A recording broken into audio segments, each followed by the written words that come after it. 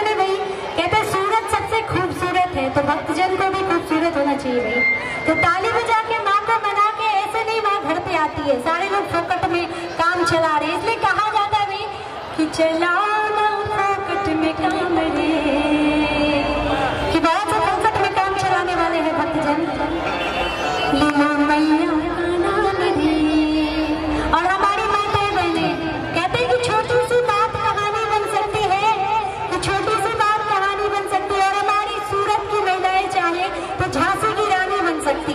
और ऐसे चुपचाप बैठेंगे तो झांसी की रानी नहीं बनेंगे कैसे बुलाना है मैया रानी को एक बार हाथों को खोल के जितने लोग बुलाना चाहेंगे जो खड़े हैं भाई आप पीछे वाले सारे इधर वाले सारे उठाइए हाथों को अभी से थक गए उठाएँगे हाथों को इधर से एक साथ कहना है क्या? कि मैया